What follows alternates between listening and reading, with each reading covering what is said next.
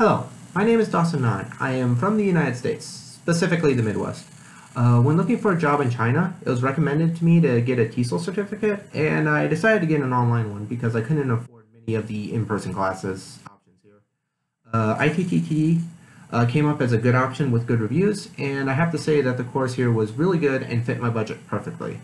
I took the 120-hour course with tutor support and video, um, the 120 hour option because that's what was recommended for the certificate, and then the video part because I wanted extra material to supplement what I was learning in the units, and I have to say uh, the course did that very well.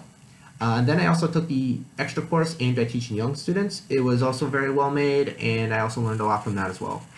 Uh, the units were very well written and went into good detail with each of the subcategories each unit had, uh, making sure to cover all aspects of conducting a classroom, uh, forming a lesson plan, and the advanced grammar knowledge any ESL teacher needs to know. Um, I know some. I knew some things from volunteer tutoring slash teaching, and from my experience learning other languages and linguistics. But this course still showed me uh, many new things, nonetheless, that I did not know, and really changed how I will approach the classroom from now on.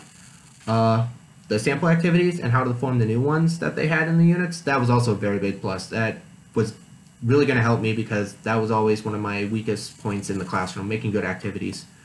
Um, now with my 120 hour TESOL certificate, the school in Yanqing that I am going to is looking forward to my arrival and is confident I am ready to teach their young students. Thank you all. Have a good day.